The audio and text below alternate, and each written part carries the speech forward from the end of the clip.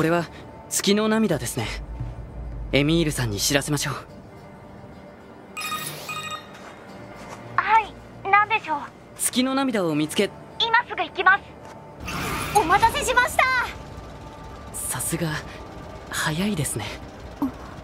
ああそうか。ここでは何があったんですか？エイリアンとの戦い。その戦況は日々悪化していきました。僕は戦闘に勝利するために自己増殖したんです。でも敵の数もどんどん増えてたくさんの仲間が命を落としました。もう随分昔のことです。そうですか。エミールさんっていつから生きてるんですか？よく分かりません。戦うのに必要のない記憶だったから。探してくれてありがとうございます別の場所を見つけたらまた教えてください。僕はもう少しここにいます。